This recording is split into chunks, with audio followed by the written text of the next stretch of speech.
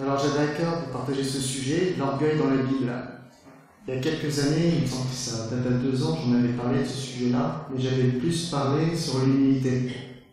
Donc on avait fait plus, euh, on avait donné, plus d'exemples sur, euh, sur l'humilité. Et là, je vais vraiment me concentrer sur l'orgueil, ce que dit la Bible dans l'orgueil. Sur l'orgueil plutôt. Donc, j'ai mis le programme du message. En moi, on peut s'approuver. C'est bien quand c'est structuré, on comprend mieux. Déjà, la définition de l'orgueil, définition de l'humilité.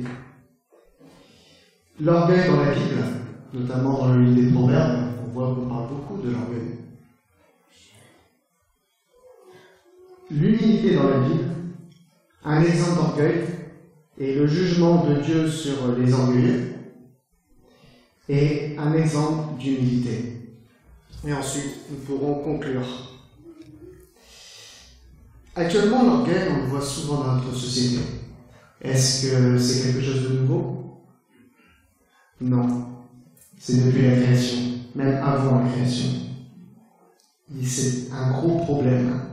Bibliquement, on voit que c'est un gros problème aux yeux de Dieu, l'orgueil.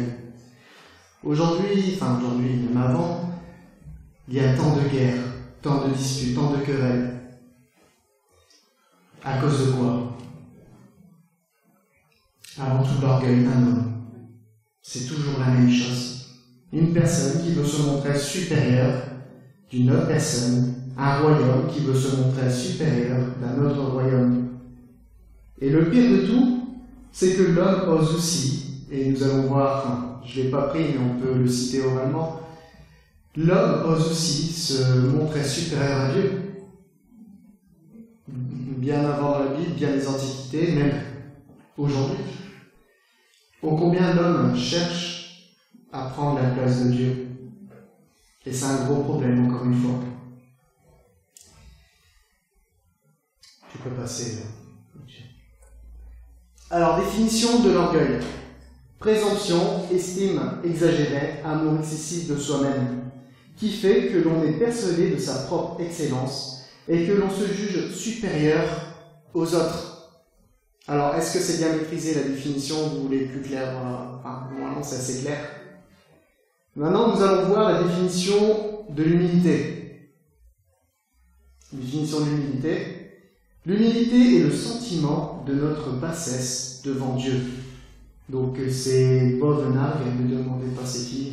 Je suis totalement paumé sur Autrement dit, le sentiment de notre insuffisance et particulièrement de notre pauvreté spirituelle. En réalité, l'humilité, c'est quoi? C'est à un moment donné, on se, dit, bah, en réalité, de moi-même, je ne suis pas capable. Vous avez compris? De moi-même, de ma propre nature, je suis incapable d'arriver à ce but. Mais avec le Seigneur, grâce à la force du Seigneur, je peux y arriver. Je vais y arriver c'est différent.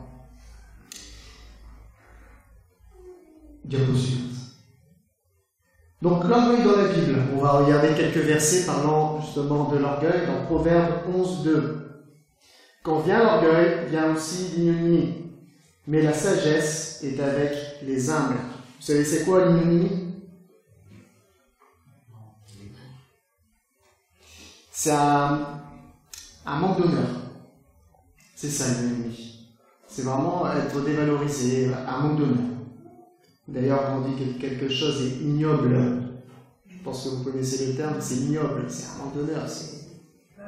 C'est pas bon, c'est quand même, on va dire dans le terme imagé, c'est répugnant.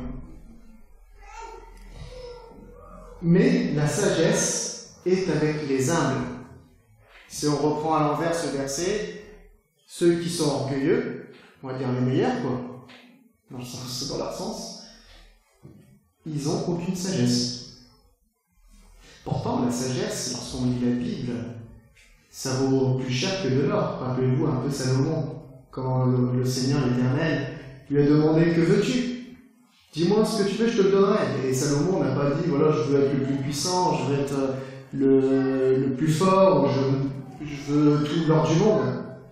Salomon a répondu Je veux ta sagesse. Il avait tout compris que la sagesse de Dieu valait beaucoup plus de tous les trésors du monde. Proverbe 17, 19, celui qui aime les querelles aime le péché. Celui qui élève sa porte cherche la ruine. Une autre conclusion de celui qui élève sa porte, donc l'orgueilleux. On voit que le but, c'est quoi? C'est la ruine. C'est bien clair. Proverbe 18, 12. Avant la ruine, le cœur de l'homme s'élève. Donc on voit qu'on reprend un peu le verset euh, de 19 du chapitre 17, à part que la phrase est mise un peu à l'envers. Avant la ruine, le cœur de, de l'homme s'élève, mais l'humilité précède la gloire. Et ça, il ne faut pas l'oublier. C'est vrai que l'orgueil mène à la ruine, mais il ne faut pas oublier que l'humilité a pour but après la gloire. Mais je rappelle par rapport au message de la semaine dernière, la gloire de qui? À la fin, ce n'est pas notre propre gloire. Et même si on reçoit la gloire, moi je te rends gloire, Seigneur.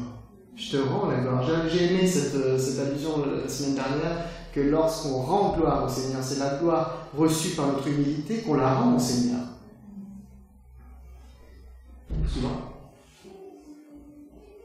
Proverbe 29, 23. L'orgueil d'un homme l'abaisse.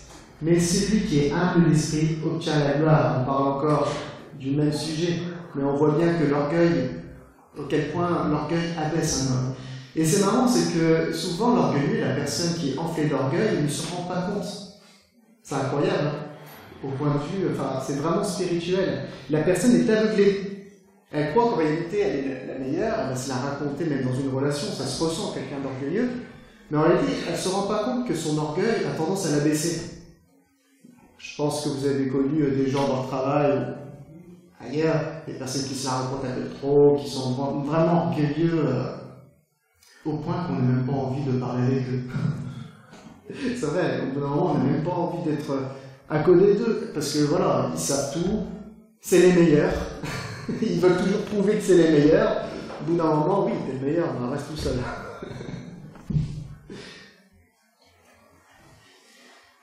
Proverbe 13, la crainte de l'éternel, c'est la haine du mal. L'arrogance et l'orgueil, la voix du mal et la bouche perverse, voilà ce que je hais. Donc, je reviens à la crainte de l'éternel. Qu'est-ce que la crainte de l'éternel? Souvent, les mecs vont dire la crainte de l'éternel, c'est avoir peur. Justement, non. Si tu as peur, c'est que tu as fait quelque chose de mal. Moi, quand j'avais peur de mon père quand il rentrait, c'est que j'avais quelque chose, que j'avais fait une bêtise. Par contre, là, c'est plus la crainte de l'éternel, c'est un respect. Moi, j'avais la crainte de mon père, j'avais le respect, c'est mon père, c'est mon supérieur dans ma famille. C'était lui qui était en tête de ma famille. Donc, je respectais ses commandements. S'il me disait, avant de bouger, tu devais faire ta trompette, une demi-heure, j'avais intérêt de faire ma trompette, parce que c'était ma trompette, jouer de la trompette, et mon père m'obligeait une demi-heure par jour de faire de la trompette. Ensuite, faire mon lit, voilà, j'écoutais à la lettre ce que disait mon père. C'est le respect que j'avais vis-à-vis de mon père, vis-à-vis de mon supérieur. Donc, j'avais la crainte de mon Père. Et c'est la même chose avec euh, le Seigneur, avec l'éternel. La crainte de l'éternel, c'est ça, c'est le respect qu'on a envers lui. C'est notre supérieur, notre ultime supérieur. L'arrogance et l'orgueil. Souvent, l'arrogance va avec l'orgueil. Quand on est orgueilleux, l'arrogance, elle suit avec. La voix du mal, pareil et la bouche perverse. Et là, c'est intéressant de voir l'avis de l'Éternel par rapport à ses traits de caractère. Voilà ce que je hais. L'Éternel en a de la haine contre ça. Il n'aime pas. Souvent, on a parlé ce que l'Éternel aime, connaître la volonté de l'Éternel. Mais il est bien intéressant de voir ce, que ce qui déplaît à l'Éternel. Ce que l'Éternel a en horreur, c'est bien ça, l'orgueil. Non Conclusion sur l'orgueil. Donc je reprends par rapport au verset qu'on a cité, malgré qu'il y a plusieurs versets, mais ça ne suffirait pas pour un message, on ne que la lecture. L'ignominie, déshonneur, honte, manque de sagesse. Et on sait là où ça nous mène quand on n'a pas de sagesse. Provoque la ruine. Et le pire de tout, c'est que l'Éternel et l'orgueil. Il n'aime pas ça. D'ailleurs, c'est intéressant de savoir pourquoi l'Éternel n'aime pas l'orgueil. Est-ce que vous connaissez l'origine du péché? À cause de quoi? L'orgueil de qui? L'orgueil de Lucifer, de Satan. Lucifer, bon, j'ai pas pris euh, les versets clés, mais Lucifer était un ange lumière, un des plus beaux. Et par sa beauté, à un moment donné, il s'est voulu se mettre égal à Dieu, même supérieur à lui. Et c'est à cause de ça qu'il est tombé, à cause de son orgueil. Et d'ailleurs, il a suivi avec lui, il a séduit un tiers des anges, ce qui est énorme. Vous imaginez le travail qu'a dû faire euh, Lucifer, Satan Ensuite, on le voit au travers de la création, enfin après la création, la chute de l'homme. Pensez que l'homme a mangé le fruit interdit parce qu'il me convoitait en disant bon, c'est un beau fruit, je peux bien avoir ce goût, voir quel goût il a. Si ça aurait été un sicilien, peut-être, mais je pense pas, parce que nous on aime bien le goût, on aime bien goûter les choses. Mais non, on voit qu'à l'origine de ça, il y avait Satan. Le serpent, il lui disait quoi? Goûte, avec des pâtes, le bon mélange, ça va bien se faire, hein il disait si tu manges ce fruit, tu seras égal à Dieu. En réalité, Satan convoitait l'homme et la femme, il convoitait l'orgueil de l'homme et la femme. Voilà que tu seras supérieur à Dieu, tu seras égal à Dieu. Et c'est à cause de ça que, que l'homme est tombé. Bien sûr, quand je dis homme, c'est avec un grand machin. Et d'ailleurs, même, même lorsque Dieu recherchait, appelait après Adam, Ève, en se promenant dans le jardin d'Éden, moi c'est un passage qui m'a souvent ému parce que c'est un Dieu tout-puissant, il sait ce qui s'est passé. Vous croyez pas? À un moment donné, il pouvait arriver juger directement. Il avait le droit. Pourtant, l'Éternel criait encore Adam, où es-tu? Adam, Ève, qu'as-tu fait? Il lui posait des questions. Que l'Éternel attendait une repentance. Il a laissé le temps à la repentance. Et là, on voit comment l'homme a répondu à l'Éternel. Est-ce qu'il lui dit Pardon, je t'ai désobéi, Père Pardon. Non. Ah C'est à cause de ta femme, la femme que tu m'as donnée. Donc, nous, en tant qu'homme, on a bien accusé la femme. C'est pour ça que c'est que c'est notre épaule, c'est notre. C'est à cause de la femme que tu m'as donnée, que tu as créée, que tu m'as donnée. En réalité, c'est comme si c'est ta faute. C'est ta faute, éternelle. C'est toi qui m'as donné la femme. Bon, l'éternel n'a pas répondu à ça tout de même pas du tout répondu. Femme, elle, qu'as-tu fait? Pourquoi, pourquoi as-tu mangé Ah C'est la faute du serpent que tu as créé Vous imaginez un peu la situation de l'éternel, non seulement il donne un ordre, et cet ordre a été violé, mais en plus de ça, on ne reconnaît pas notre erreur. C'est vraiment une preuve d'orgueil. Donc je reviens par rapport à ce que l'Éternel en pense. Ouais, l'Éternel est l'orgueil. Il n'aime pas ça. Nous allons passer à la suite. Maintenant, l'humilité dans la Bible. Dans Philippiens, chapitre 2, 3, ne faites rien par esprit de parti ou de vaine gloire, mais que l'humilité fasse regarder les autres comme étant au-dessus de vous-même. Alors moi, au départ, j'avais un problème à ça. C'est qu'à un moment donné, je me montrais tellement inférieur aux autres, j'avais toujours l'impression que les autres étaient supérieurs à moi et que moi, en réalité, j'étais limité. Mais en réalité, ça, par contre, c'est un esprit de mensonge. Et j'ai dû m'en libérer de ça. Et au point, au point que je me sentais limité, c'est que même à un moment donné, j'avais même du mal à m'exprimer, à parler, à me faire comprendre. Parce que j'avais tendance à croire que l'autre était beaucoup plus intelligent que moi, et moi j'étais un peu paralysé par rapport à ça. Là, on ne parle pas de ce sens-là, on parle qu'à un moment donné, tu mets en valeur la personne. Ça veut dire que tu, tu meurs à toi-même. Vous avez compris? C'est que toi, tu n'as plus autant d'importance à tes yeux. Pas plus que là. Tu vas regarder là comme une création de Dieu, comme une merveille que Dieu a fait. Et quand tu regardes la personne avec le regard que Dieu les voit, ta relation changera avec cette personne-là. Vous avez compris? On a souvent tendance dans une conversation à parler, parler, parler. Par contre, écouter, ça on n'aime pas. C'est compliqué. On a du mal à écouter. Et dans une relation, l'écoute est importante. C'est pareil dans notre relation avec, euh, avec Jésus. On a souvent tendance à prier, prier, prier, prier, prier, à lui demander par la prière, si une chose très bonne, attention, il faut le faire. Par contre, est-ce qu'à un moment donné, on s'est posé pour l'écouter? Comment on l'écoute? La parole de Dieu. Au la parole de lui, aussi par rapport aux études bibliques, par rapport à une prédication, mais avant tout la parole de Dieu. Vous comprenez? Travers de la parole de Dieu que Dieu va te parler et va répondre à tes questions. D'ailleurs, on parle de la foi. C'est quoi la foi? La foi, c'est avoir confiance. Mais avoir confiance en quoi? Avoir confiance en Jésus. Jésus, c'est qui? C'est la parole de Dieu. Je fais confiance à la parole de Dieu. La foi, d'ailleurs, on voit cette définition-là, la foi vient de ce qu'on entend. Et ce qu'on entend vient de nous? De la parole de Dieu. En réalité, je ne peux pas dire que j'ai la foi, et ma foi ne pourra pas grandir si je ne lis pas la parole de Dieu, si je ne la saisis pas, vous avez compris À un moment donné, on doit comprendre ce que l'Évangile dit, et c'est une fois que j'ai compris que je peux mettre ma foi et être sauvé. Est-ce que vous avez compris? Est-ce que ça, au moins, c'est maîtrisé? Donc l'importance de lire la parole de Dieu, d'avoir cette communion personnelle, d'avoir cette conversation avec l'Éternel.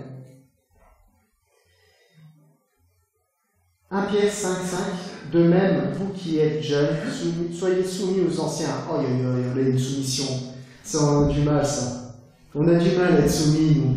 On aime bien être notre propre chef. Et là, on demande d'être soumis aux anciens de l'Église. C'est un commandement, ce n'est pas une option. Et tous, dans vos rapports mutuels, revêtez-vous d'humilité, car Dieu résiste aux orgueilleux, mais il fait grâce aux humbles. Nous allons voir par la suite, par un exemple, comment Dieu résiste aux orgueilleux. Et on a plusieurs de personnages dans la Bible qui étaient fort orgueilleux que Dieu a résisté. Mais il fait grâce aux humbles. Dans 1 Pierre 5.5, de même vous qui êtes jeunes, soyez soumis aux anciens, et tous, dans vos rapports mutuels, revêtez-vous d'humilité, car Dieu résiste aux orgueilleux, mais il fait grâce aux humbles. Les types de relations que nous entretenons avec les autres sont révélatrices de ce que nous sommes. Il en est de même pour l'humilité. Elle se révélera dans nos relations avec les autres. Si on n'est pas humble devant les hommes, combien même on pense serait être devant Dieu qu'on se comprenne nous-mêmes Déjà, si on a du mal à prouver notre humilité, faire preuve d'humilité envers les autres, comment on peut le faire devant Dieu? Comment on peut être humble devant Dieu? Dans nos rapports mutuels, il faut nous revêtir d'humilité, comme dit ici Pierre. C'est dans nos rapports mutuels que se révélera notre humilité ou orgueil. Et l'apôtre Pierre ajoute car Dieu résiste aux orgueilleux, mais il fait grâce aux humbles. Que cela est important. Même pour l'exaucement de nos prières, il fait grâce, grâce aux humbles. Même par rapport à la prière. Si moi je dis je sais prier, en réalité c'est faux, je ne sais pas prier. Je sais prier lorsque je m'avoue vaincu en disant Seigneur, apprends-moi à prier, je ne sais pas prier. Et là, le Seigneur va me guider dans la prière. C'est pareil dans les œuvres. Si je dis je vais faire les œuvres par moi-même, moi je pourrais dire que fait ci, fait ça, que je suis le top chrétien. Mais en réalité, le Seigneur, il ne veut pas. Il veut que tu sois brisé, détruit. À un moment donné, tu vas dire Seigneur, je suis incapable de œuvrer, je suis incapable de faire. Et c'est là que le Seigneur va te guider. tu vas te, en réalité, en baissant tes armes, tu vas, tu vas laisser place à l'œuvre du Seigneur. C'est lui qui va œuvrer au travers de toi. Ça me fait penser un peu, quand j'ai commencé mes études, j'en parlais à Louis semaine dernière, que j'ai eu le déclic après le bac. Avant le bac, j'étais un cancre. Un vrai cancre. Même au point que mon père, moment donné, il dit Écoute, j'abandonne, fais ce que tu veux. J'en peux plus. Avec tes études, c'est pas, c'est plus la peine. Mais après le bac, en réalité, j'avais tellement peur. Il y en a qui vont dire c'est péché. Mais j'avais tellement peur de la suite en disant ah, je suis pas capable, j'arriverai jamais moi à faire des études. Déjà le bac, j'ai tout juste, tout ça. Si je veux faire des études, j'y arriverai pas. Je suis pas capable. À ce moment-là, je me suis dit Seigneur, je suis fatigué. Seigneur, je suis fatigué.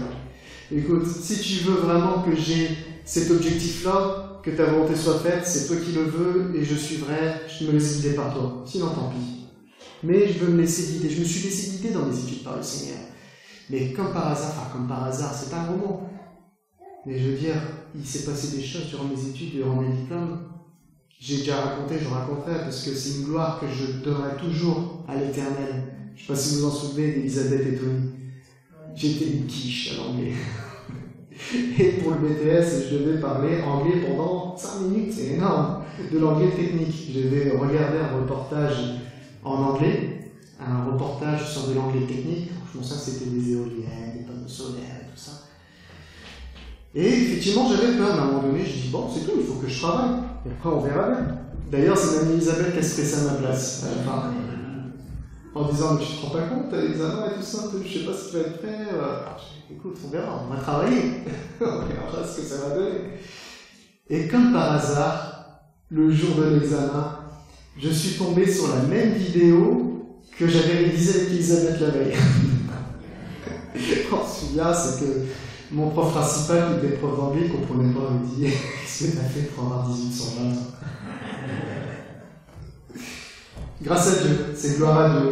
Là, on voit que l'éternel guide. À un moment donné, quand on baisse ses armes en disant Seigneur, moi je suis pas capable, mais au travers de toi, je, peux, je sais que tu m'emmèneras là où tu voudras, selon ta volonté. Et c'est là qu'on trouve, comme j'ai entendu dans ce ce matin, on trouve le repos. On trouve le repos en Christ, parce qu'en réalité, ce n'est plus par notre propre effort, même au travers de la persécution, même au travers de la persécution, les moments difficiles, même si des fois c'est tentant à vouloir, euh, ramer, à vouloir prendre le voilier et pas, laisser le, le comment dire, le, les commandes automatiques, les commandes à Jésus, on a tendance à vouloir faire quelque chose par manque de foi, par manque de confiance. Le Seigneur dit laisse tout, laisse-moi faire.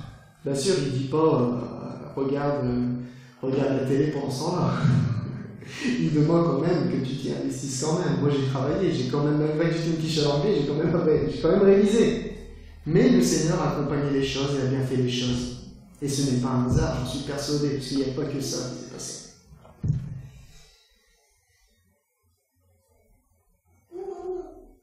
On a un grand exemple d'humilité. Là, par contre, je ne l'ai pas pris, euh, je pas pris euh, dans les diapos, c'est Jésus. Jésus étant le roi des rois des rois des rois, étant Dieu, il est Dieu, qu'est-ce qu'il a fait après le repas de Pâques, pendant la Pâques, à ses disciples? Il a lavé les pieds. C'est incroyable. D'ailleurs, je ne veux pas le lire pour gagner du temps pour la suite, mais d'ailleurs, même Pierre a dit Mais non, ne fais pas ça Jésus dit Oh, calme-toi, parce que si je te lave pas, tu ne seras pas sauvé. il commence à imaginer la chose. Donc justement, Pierre dit, bah, dans ce cas-là, lave-moi aussi la tête. Donc on voit que le roi des rois s'abaisse aux pieds. C'est intéressant de voir les pieds, c'est l'endroit le plus bas, mais c'est un endroit qui pue. c'est vrai, c'est un des endroits qui, qui est le plus infect chez l'homme. Pourquoi? Parce que ça ramasse toutes les poussières. On transpire beaucoup des pieds, il y a toutes les veines qui passent là. Donc on voit que c'est un endroit D'ailleurs, c'est pour ça que c'était un signe de respect à l'époque, sûrement, parce qu'ils étaient en sandales. Donc on lavait les pieds avant qu'ils rentraient dans une maison, c'était une tradition. Mais on voit justement que Jésus s'adresse à ses disciples.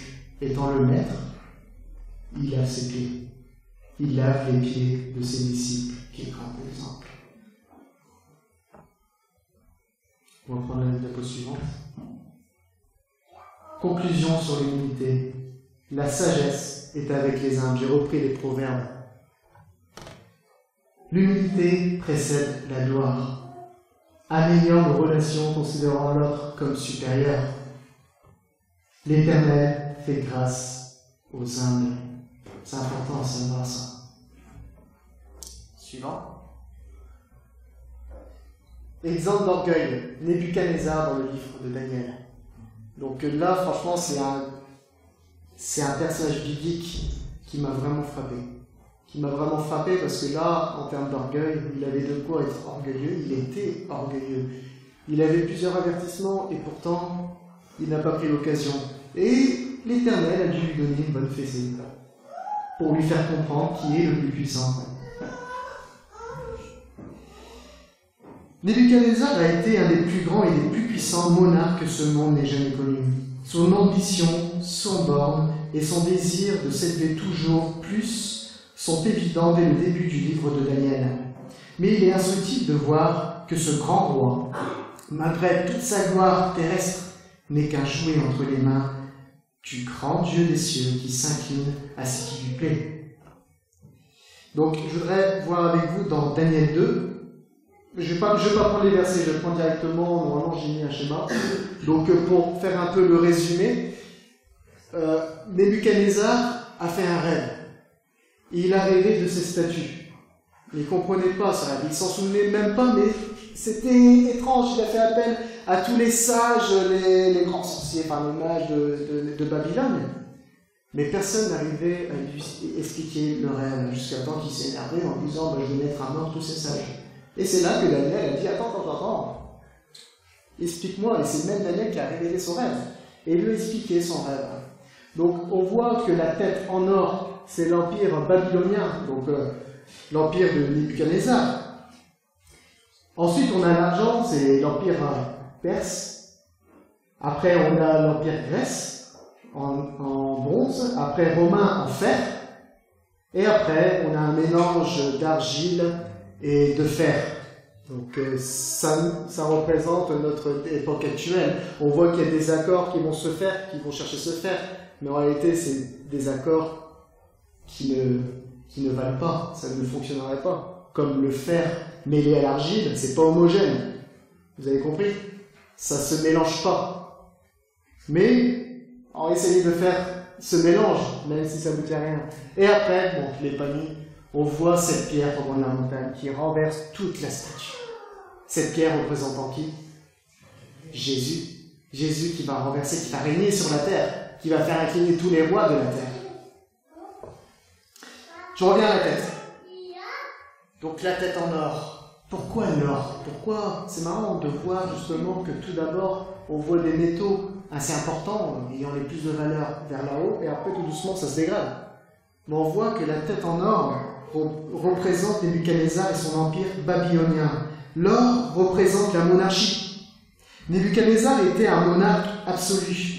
Il ne devait rendre des comptes à aucun parlement, tribunal électeur. C'était un dictateur suprême.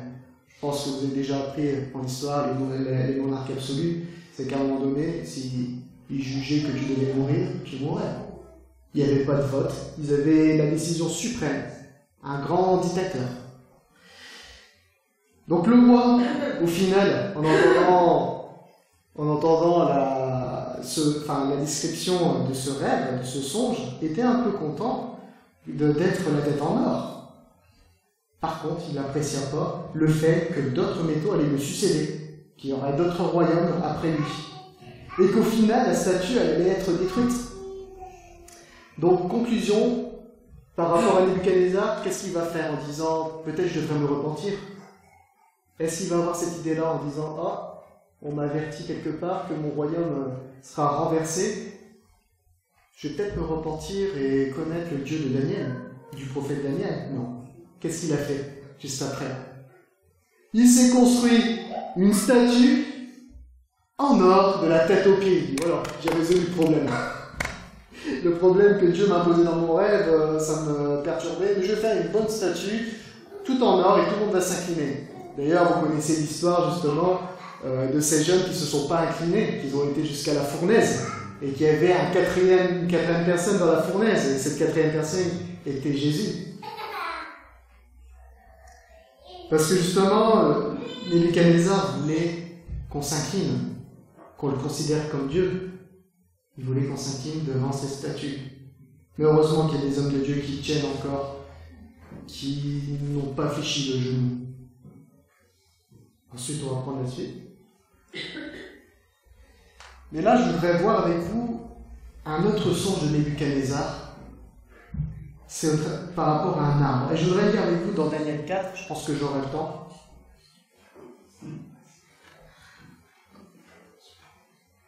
L'idée, c'est de bien comprendre la situation, ce qui s'est passé, bien comprendre son songe.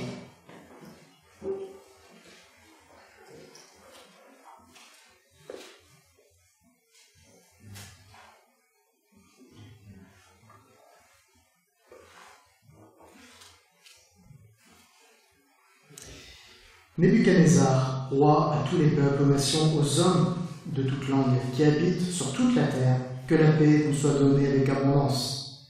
Il m'a semblé bon de faire connaître les signes et les prodiges que le Dieu suprême a opérés à mon égard. Donc là, c'est marrant que dans ce récit, c'est le roi Nebuchadnezzar qui parle. Ce n'est pas Daniel. On voit que c'est lui qui en parle. Lui qui est autant comme on a parlé. Que ces signes sont grands, que ces prodiges sont puissants. Son règne est un règne éternel et sa domination subsiste de génération en génération. Moi, Nebuchadnezzar, je vivais tranquille dans ma maison et heureux dans mon palais. J'ai eu un songe qui m'a effrayé. Les pensées dont j'étais poursuivi sur ma couche et les visions de mon esprit me remplissaient d'épouvante. J'ordonnais qu'on fît venir devant moi tous les sages de Babylone afin qu'ils me donnassent explication du songe. Alors vinrent des magiciens, des astrologues, des chaldéens et les, et devins. Je leur dis le songe, ils ne m'en donnèrent point d'explication. En dernier lieu se présenta devant moi Daniel, nommé Belshazzar, après le nom de mon Dieu, et qui, à lui, a en lui l'esprit des dieux saints. Je lui dis le songe, Belshazzar, chef des magiciens, qui a en toi, je le sais, l'esprit des dieux saints, et pour qui aucun secret n'est difficile, donne-moi l'explication des visions que j'ai eues en songe. Voici les visions de mon esprit pendant que j'étais sur ma couche. Je regardais, et voici, il y avait au milieu de la terre un arbre d'une grande hauteur. Cet arbre était devenu grand et fort, sa cime s'élevait jusqu'aux cieux, et on le voyait des extrémités de toute la terre. Son feuillage était beau et ses fruits abondants. Il portait de la nourriture pour tous. Les bêtes et des champs s'abritaient sous son ombre. Les oiseaux du ciel faisaient leur demeure parmi ses branches, et tous les êtres vivants tiraient de lui sa nourriture.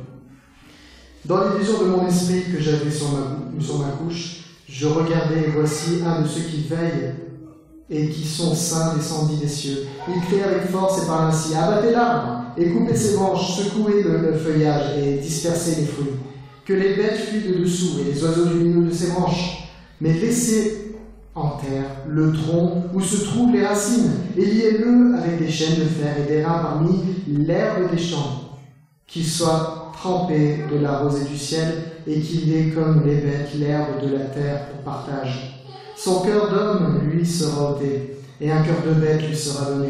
Et sept ans passeront devant lui, cette sentence est un décret de ceux qui veillent, cette résolution est un ordre des saints, afin que les vivants sachent que le Très-Haut domine sur les règnes des hommes, et qu'il le donne à qui lui plaît, et qu'il élève le plus vif des hommes.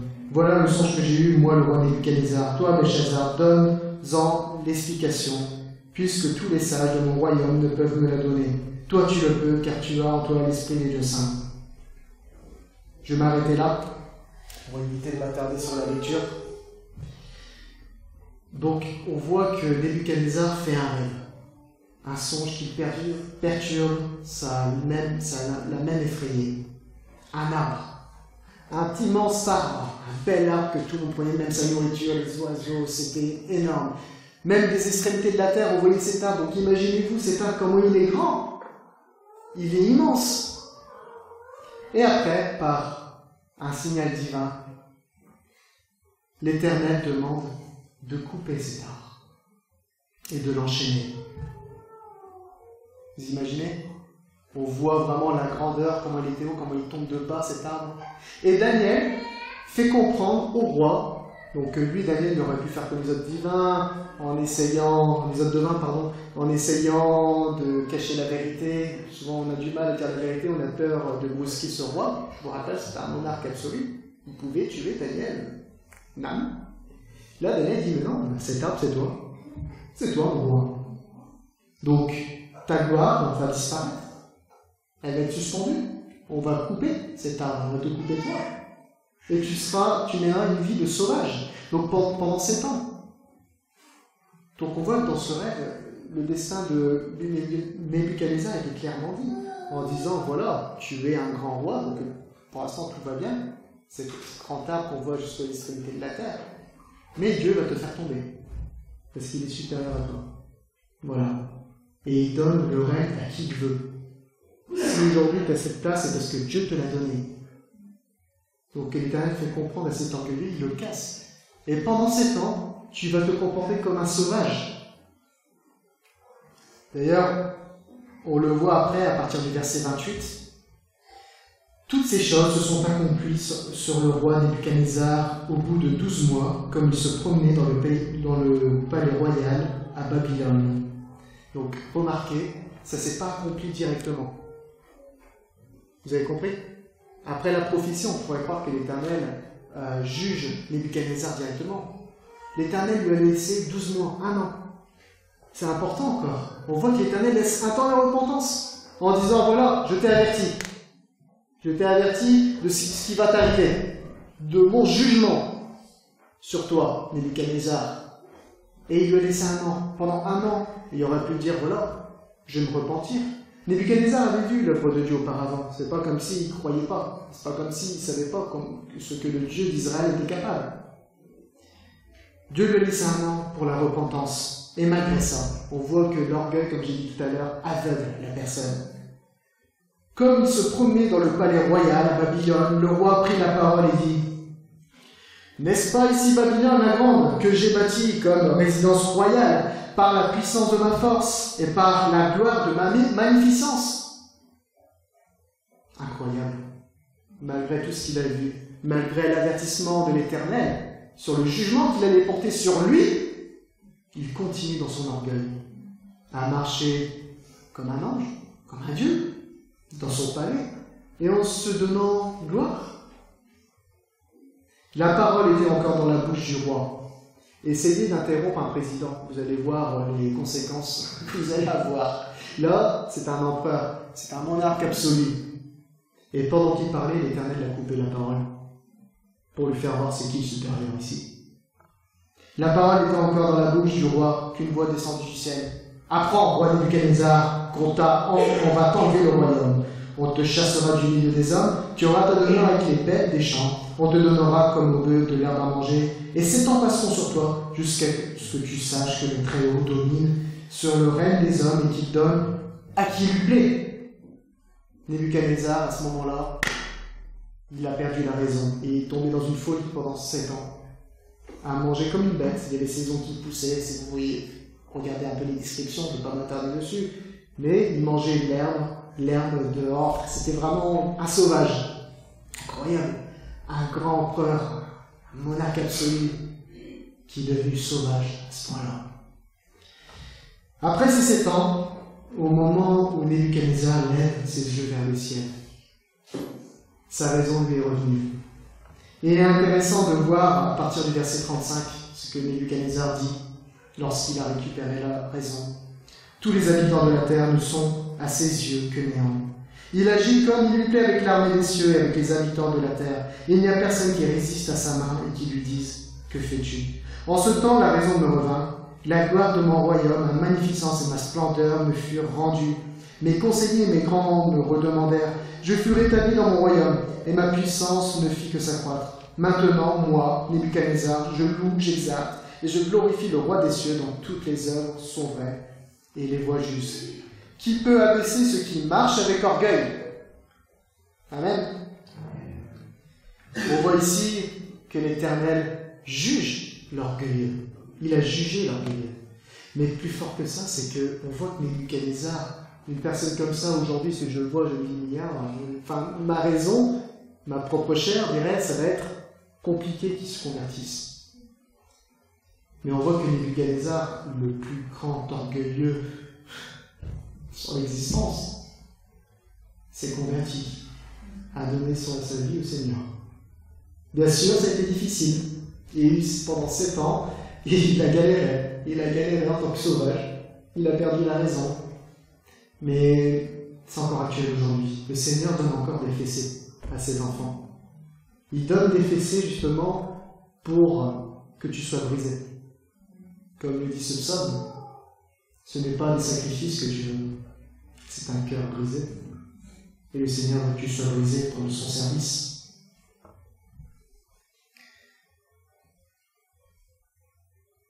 Ensuite, on voit dans le chapitre suivant, et là je ne vais pas, pas dessus, on voit un autre jugement.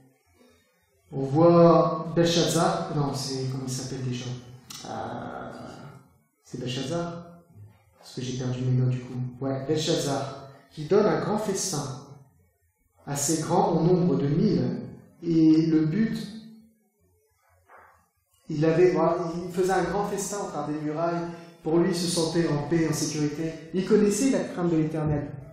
Il connaissait ce qui s'était passé avec Nebuchadnezzar. Certainement. À un moment donné, moi je sais ce qui s'est passé. Enfin, je connais mon père, il m'a raconté un peu de son expérience. Donc je connais, je sais par quoi il est passé mon père. Mais là, on voit que Belshazzar a tendance même à vouloir provoquer l'éternel. Il utilisait même des ustensiles, des vases du temple pour vraiment faire voir qu'il était bien supérieur à l'éternel.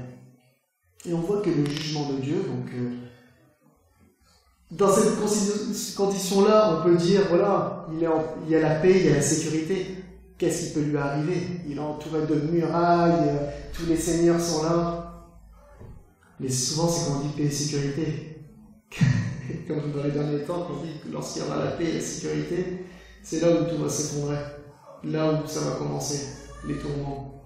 Et là, ce qui s'est passé, c'est des doigts d'humains qui écrivent sur le mur. Et bien sûr, Daniel interprète ce que ça veut dire. Et il lui annonce que le règne babylonien est terminé. Est terminé, il termine sur lui. Et là, on voit que le jugement de Dieu était direct, car il fut tué le soir même.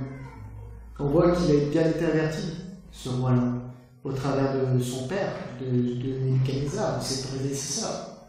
Mais il n'a pas saisi l'occasion, il a continué. Il a été averti. Il y a eu les prophéties avant. Et on voit comment le jugement de Dieu a fait. Je reprends seulement, pour conclure, deux citations dans l'œuvre de Daniel. Daniel 3.17, justement, quand les trois jeunes ont été condamnés à la fournaise et que l'Éternel les a sauvés. Avant ça, ils disent Voici notre Dieu que nous servons peut nous délivrer de la fournaise ardente et nous délivrera de ta main, roi. Donc on voit l'Éternel délivre.